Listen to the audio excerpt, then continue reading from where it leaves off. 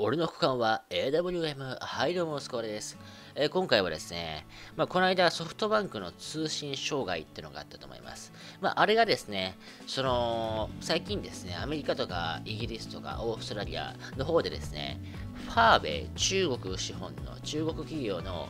ファーウェイというですね、通信会社、携帯の会社がですね、まあいろいろちょっと規制を食らったんですよ。そのスパイなんじゃないかという中国にその軍事的な情報をアメリカだったりイギリスの情報を流してるんじゃないかという疑いがあって規制されたんですよ。どういう規制かっていうともう 5G、4G、3G、要は僕らが普段 Wi-Fi 以外の環境下で使っているモバイル通信の環境を一切使えなくしたんですよ。それぐらい厳しい規制をされたんですね。その規制をされてすぐ、ファーウェイの幹部、え社長の娘さんが逮捕されました。それが逮捕された日にソフトバンクの通信障害が出たんですよね。まあ、これで分かることっていうのが、まあ、そのソフトバンクとファーウェイがつながっているか、ソフトバンクがファーウェイの通信機器を使っていて、何らかの傍受をされて通信障害が出たというふうに今ネット上で見られております。今回はですね、そちらと荒野行動、そしてネットイースにつながるお話ですね。これを話していこうと思います。まあですね、その、そうやっていろいろですね、スパイ的なちょっと情報抜かれるんじゃないかっていうのは、ファーウェイが、えー、日本で、まあ、普及し始めてからずっとこれ言われていることなんですよ。情報流されてますよみたいな。中国のアプリとかでもやっぱりちょっと情報流されてますよっていうのはもうすごい10年以上ぐらい前からですね、まあ言われている、まあ有名なお話じゃないですか。まあ結構その国際社会では最近ですね、まあ情報化社会になって、そういう情報での戦い、インターネット上でのいろいろそのハッキング的な戦いっていうのが実は日夜繰り広げられているんですよね。まあ、例えばその単純にそういうハッキング、クラッキングっていうのもそうですけれども、まあいろいろメディアを使った戦略とか戦術ですね。そういうのが、えー、あることっていうのもあります。これと荒野行動が何の関係があるのか。うん、まあ、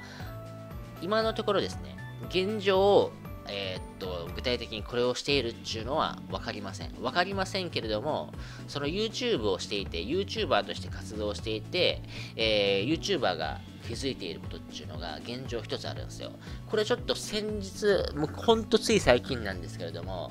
その YouTube ってそのゲームとかいろいろエンターテインメント、料理とか美容とかそういう自分の動画のカテゴリーを設定できる画面があるんですよね。で、ゲームカテゴリーでも、えー、設定できるんですよ。ゲームカテゴリーっていろいろその、さらに細分化した、例えばマリオだったらマリオ、ポケモンだったらポケモンみたいな感じで設定できるんですけれども、この中に荒野行動っていう欄もあったんですよ。ちょっと前まであったんですけど、これが、そのアメリカとかイギリスとかで、その中国資本のファーウェイが規制を食らってから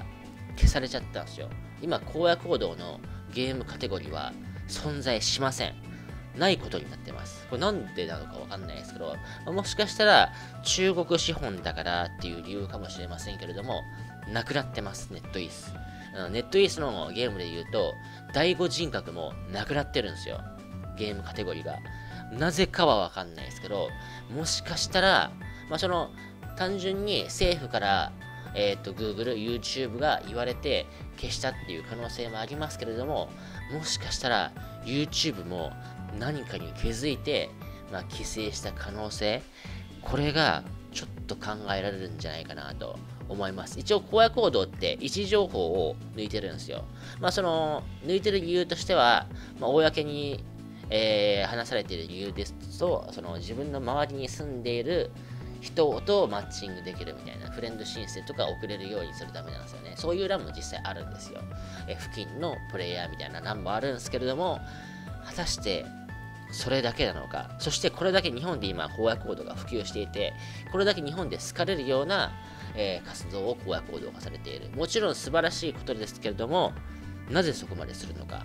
ちょっとどうなんかなという思う時が僕はちょっとありますね。で、先ほどのですね、ファーウェイの話に戻ります。まあ、ファーウェイって民間企業です。国営の企業じゃないです。えっと、中国中国が国として作った企業じゃなくて、普通に民間の一般人が作った企業なんですけど、なんでそこまで政府の言いなりというか、政府の思惑通りに動くのか、これは理由があります。これなんでかっていうと、中国で企業を持つときって、絶対にその大企業だったら、ある程度その、えー、稼いでいる企業だったら、その企業の中に政府の人間を置く部署っていうのを作らなければいけないんですよ。これちょっと名前を出すと僕がなんか叩かれそうなんで、明確なその党の名前は出さないんですけど、そういう政府の人間が口を出せる、口を吐いて出せて、その企業のやり方にいろいろ文句をつけたりとか、方針を変更できたりできる部署を置かないといけないっていう法律が中国の中であるんですよ。これもこの皆さん知ってることなんで、もうネットでググったら普通にわかることなんで、